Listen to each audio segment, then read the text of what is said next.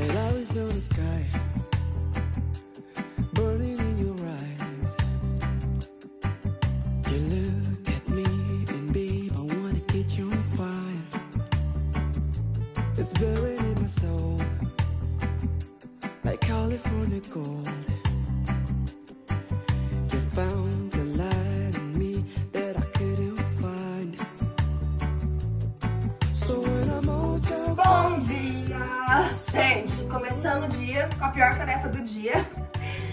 Pra mim, dobrar roupa é a coisa que eu mais procrastino pra fazer. Tanto que essas roupas aqui tá acumulada de uma semana já. Tava guardando pra dobrar, porque isso que é ruim, né? A gente vai deixando para fazer depois, fazer depois. Quando vê, o problema é bem maior. Então nunca deixe o que você tem pra resolver resolver depois, o problema só aumenta. Olha, filosofando logo cedo. Mas é verdade, gente. Eu não gosto de dobrar roupa mesmo. Não gosto dobrar roupa. Mas sempre tem alguma coisa que a gente não gosta de fazer no dia, né? Mas dobrar a roupa é uma dessas coisas. E mas por isso eu coloquei como primeira tarefa do dia de hoje. Depois eu quero cortar meu cabelo e eu quero mostrar pra vocês, gente, uma vitamina que fez total diferença pro crescimento do meu cabelo. Olha o tamanho que tá. Tá muito compridão. Então vou mostrar pra vocês a vitamina que ajudou muito o meu cabelo crescer e melhorar a qualidade dele também, né? Até a unha fica muito mais forte. Ajuda até, tipo assim, quem não tem cabelo, começar a estimular os folículos capilares a produzir os fios novos.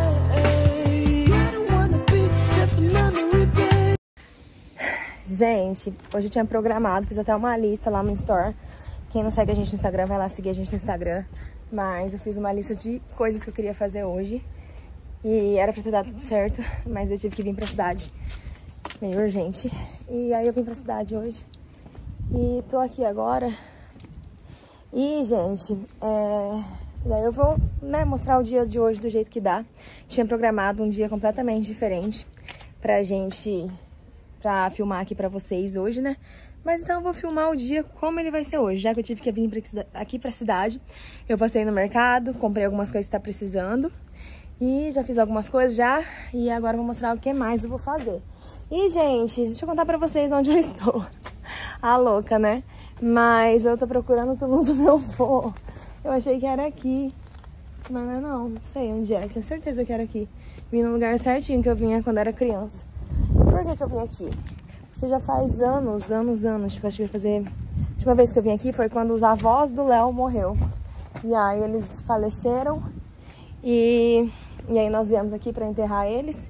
E foi a última vez que eu vim. Aí esses tempos eu tava passando aqui na frente. E eu tô procurando meu avô. Eu não conheci meu avô, mas eu vou visitar todos os. Olha, esse daqui acabou de ser enterrado, que dó.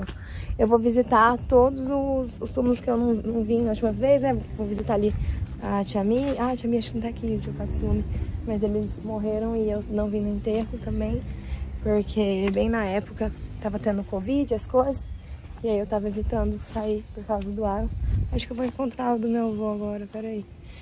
E, gente, aí por isso, esses dias a gente tava passando aqui na frente, eu ainda falei assim, ah, vamos parar ali no cemitério. Esses tempos mesmo, vamos parar ali no cemitério, né? Aí falou, ah, pra quê? Não sei o quê. Eu, gente, não encontrei, mas eu vou ali nos outros da família também. Só vou passar só e vou embora. Só passei mesmo. E vou embora que tem umas coisas pra fazer, então tô indo rapidinho. E não encontrei o do pai da minha mãe. Não achei. Era vô Silvino, eu nem lembro dele, eu não tive contato. Mas já que eu vim, eu ia passar pra dar uma olhada, né? Daí depois eu ia ver se eu achava o tio Katsumi e a tia, tia Mi, passar pra ver também. Mas eu não encontrei não, gente. Faz também quase 10 anos que eu não vim aqui. Que programa legal, né? Mas, mas sei lá, deu vontade de passar aqui. O meu avô eu não achei, mas da minha tia Mi, que faleceu ano passado, eu encontrei. Essa daqui, vocês lembram dela, né, gente? A tia Mi, a gente foi lá visitar ela assim que a gente chegou do Japão. Konnichiwa. Oi! Oi, tia! Saudade! Ah, tia Xi! Ai, que saudade! Tia? Tudo bem? Olá, tia Xi! Ui! Olá, tia Xi! Que grande! Ai, que lindo! Tudo menino! Ai, coisa gracinha.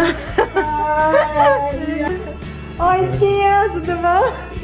Pode a tia Mi, que linda que tá. Tia. Tudo bem contigo? Bom, tia. Tudo bem? A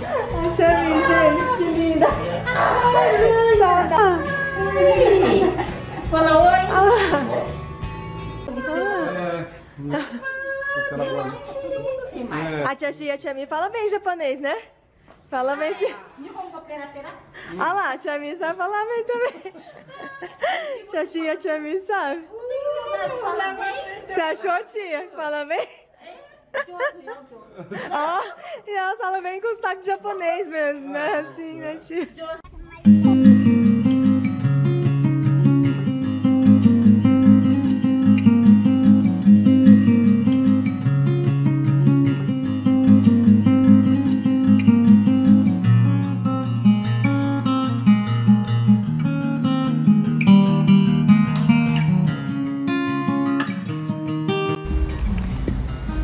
Passei aqui agora.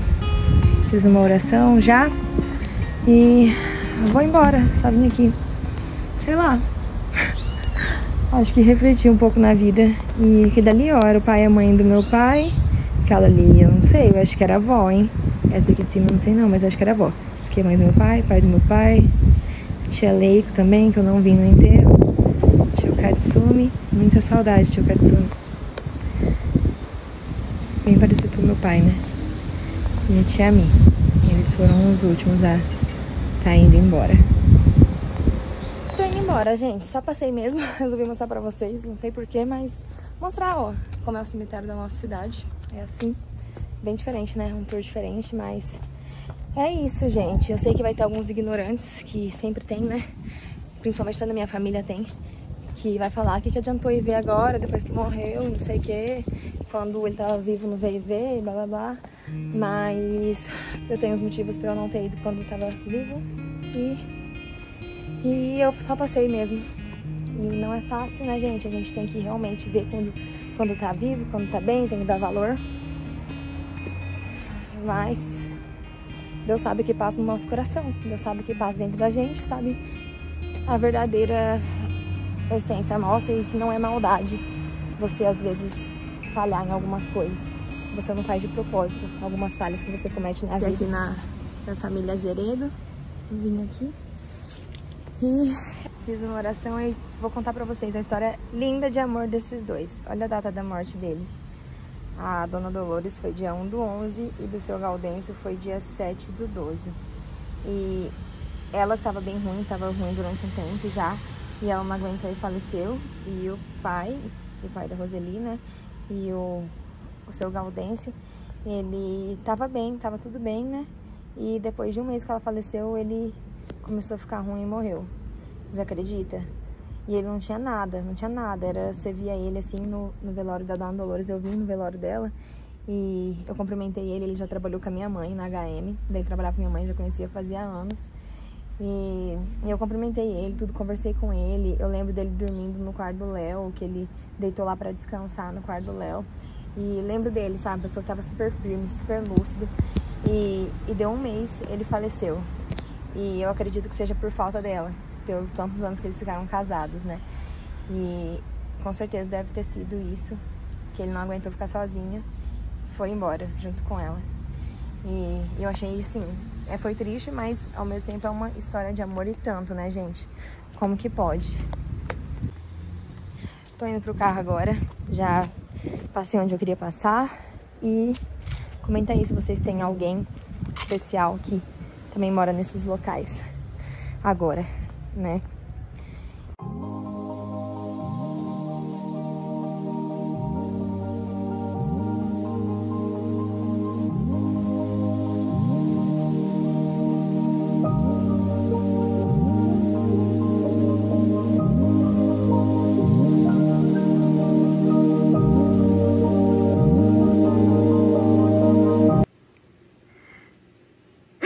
Você é tão maravilhoso.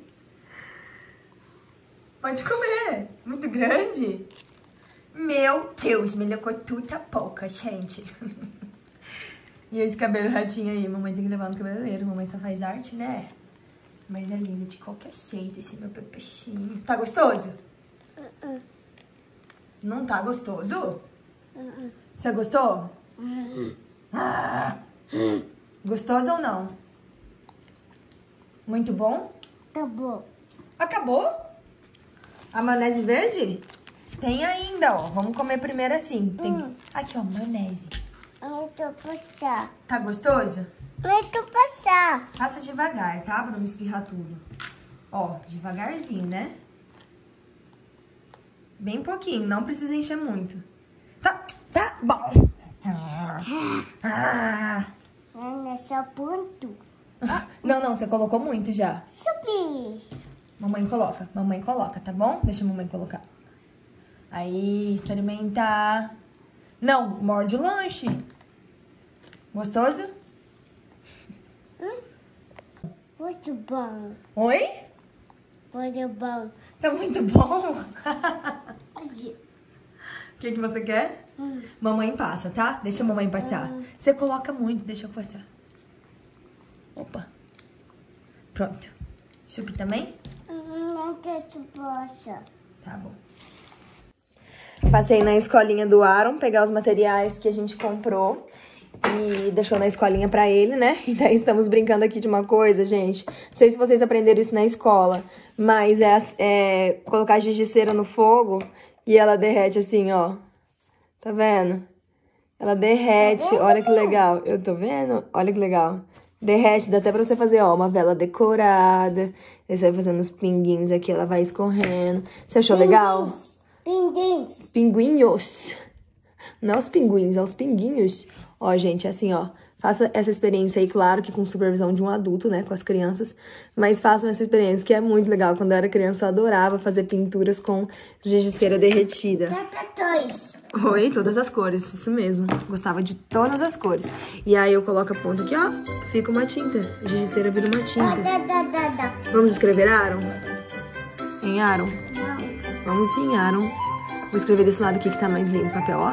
Escrever de ponta cabeça, ó. Esse é o A. Esse é o R. Ok? Esse é o O. E esse é o N. Como que é seu nome? Au. Isso! Maravilhoso! Lindo, gostoso! Bora fazer uma aula de natação? Já chegou os professores aqui? Ai, meu Deus! Gente, tá virando uma piscina de sapo isso aqui. Vamos tirar eles. Ai, meu Deus! Medo dele pular em cima de mim. Vai, sapinho. Pelo amor de Deus, aqui não.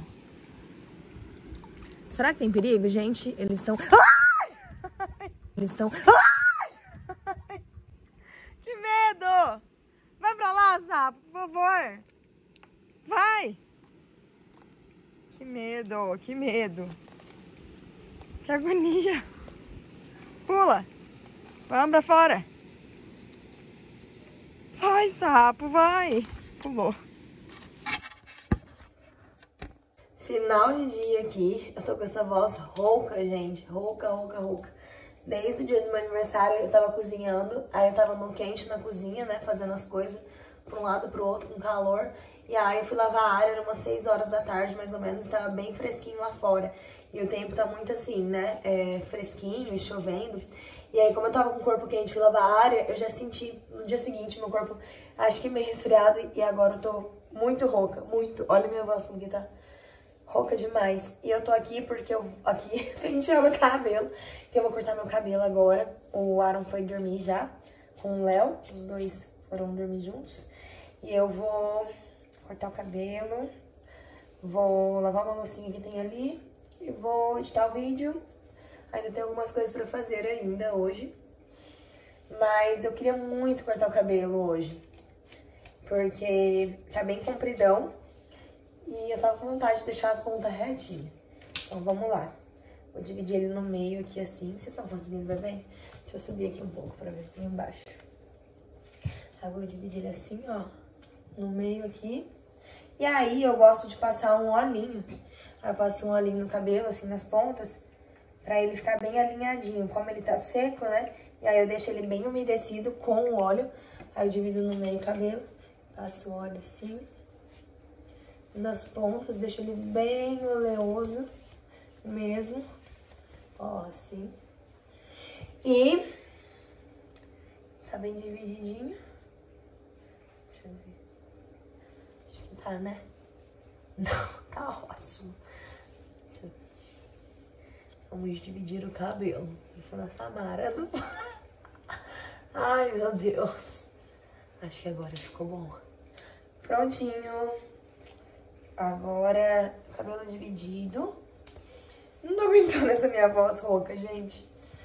Dividido, alinhado. Vou passar mais um pouco de óleo. E o meu cabelo tá crescendo muito rápido, gente. Muito, muito, muito, muito rápido mesmo. E eu falei lá no Instagram, né? Porque sempre tem alguém que pergunta se eu tomo alguma vitamina, o que, que eu faço pro meu cabelo crescer rápido assim. Não sei se vocês lembram, mas antes de. Um pouco antes de engravidar, eu cortei meu cabelo aqui. Aqui, ó, sem brincadeira. Aqui, ó, Chanel. E olha isso, dois anos depois. E eu vou falar pra vocês hoje o que, que eu tô tomando, né? Tomo todos os dias o Stella Hair, gente. É esse, essa vitamina aqui que eu tomo, então, pro cabelo. E ajuda muito no crescimento do cabelo. Ele ajuda o cabelo a crescer até seis vezes mais rápido. Eu tava olhando no Instagram deles, vou deixar o Instagram deles aqui na descrição pra vocês estarem dando uma olhada. E aí olhem pra vocês verem o quanto de benefício que tem no Stella Hair, gente. E ele ajuda até pra quem tem problema de calvície, né? Igual eu tava falando. É, homens que tem problema assim com calvície, essas coisas assim, faz nascer cabelo no couro cabeludo. Ele estimula os folículos capilares a estarem nascendo. Então é um ótimo, um ótimo suplemento, um ótimo capsulado para o cabelo e para as unhas também. Homens, mulheres usam, tanto que não sei se vocês conhecem Pedro, Pedro Paulo e Alex, daquela Sabe? Então, ele. O Alex, ele toma também já faz um tempo. E ele mostrou tanto ah. que a barba dele ficou fechadinha, assim, bem bonita. Barba também cresce, viu? Então, se você, seu marido, alguém da sua família que estiver precisando aí de um suplemento para cabelo, e ele tem um ótimo preço também. Se você comprar um é um valor, se você comprar dois, você tem mais um descontinho e três um desconto maior ainda. Então eu adoro, gente. Vou deixar o link aqui na descrição pra vocês, pra vocês estarem lá no Instagram, seguir eles. Vou deixar o link aqui pra compra também.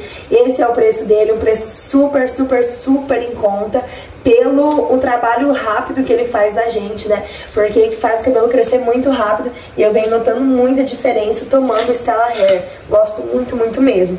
Todos os dias eu tomo dois comprimidos por dia, dá pra um mês, que vem 60 cápsulas, então dura um mês. E bora lá cortar o cabelo, gente.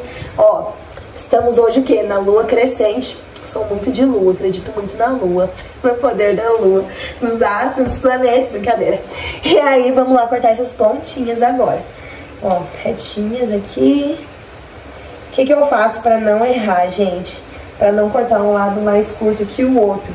Eu pego aqui os meus barbantes, um monte de barbante aqui. E aí eu corto aqui, ó, dois, e eu amarro aqui na ponta. Aí eu amarro aqui nas duas pontas na mesma altura, sabe? E, gente, é, eu tava falando pra vocês Stella Hair, né? Além dele tá ajudando também os cabelos, ele ajuda demais nas unhas. Porque a Denise faz a minha unha e esses dias tava descolando a fibra, né?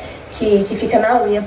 E aí ela pegou e falou, nossa, a sua unha tá bem mais forte, você percebeu? E até tinha uma unha minha que ela não, que ela tinha descolado embaixo, porque uma madeira prensou ela na máquina lá no Japão.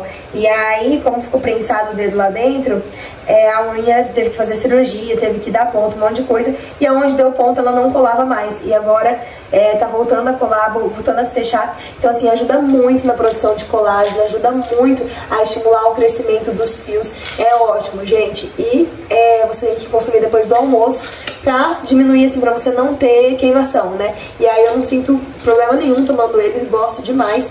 E eu tô vendo diferença nítida, assim. Então aí eu pego, ó, amarro dois, dois pedacinhos aqui. Aí eu puxo aqui, ó. Vou cortar quatro dedos. Estão vendo aqui? Quatro dedos, mais cinco dedos. Vou cortar cinco dedos do cabelo, então, ó. Aí eu vou medir aqui, cinco e cinco dedos. Tchan, tchan, tchan.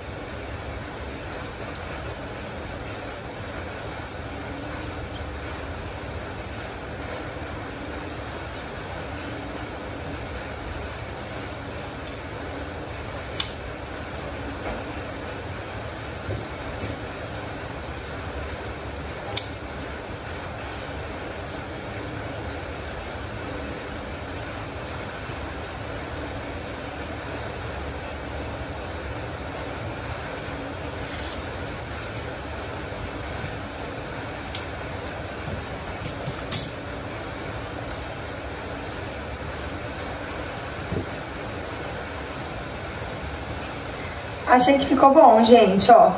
Pontinhas saudáveis. Dá uma engrossada nas pontas. Sem pontas duplas. Gostei. Ficou bom, ó. Eu tô gostando muito de ter o cabelo com corte reto, que a minha vida toda eu tive o cabelo com corte repicado. E isso faz parecer que as pontas tá muito finas, sabe? Eu sempre achava que meu cabelo tava com as pontas muito finas. Então faz já alguns anos que eu venho cortando meu cabelo reto. E aí eu tô achando que, ó, as pontas dão uma impressão de cabelo mais cheio, sabe? Eu gosto bastante de cortar o cabelo reto. E agora com a Stella Hair, gente, o cabelo fica muito mais saudável, por quê? Porque ele cresce muito rápido, então a gente sempre tá cortando. Então sempre tira as pontas duplas e o cabelo fica sempre assim, ó, com esse aspecto saudável. Eu não pinto meu cabelo, essa cor do meu cabelo natural, sempre quando eu posto alguma coisa assim, falando de cabelo pronto, que cor que você pinta cabelo, né? E eu não pinto cabelo, gente, meu cabelo é dessa cor natural mesmo, é essa cor aqui. E não tô com vontade de pintar o cabelo tão cedo, quando começar a ficar branco, eu acho que eu vou pintar de castanho médio, castanho escuro. Eu acho lindo o cabelo loiro, sabe? Cabelo moreno iluminada.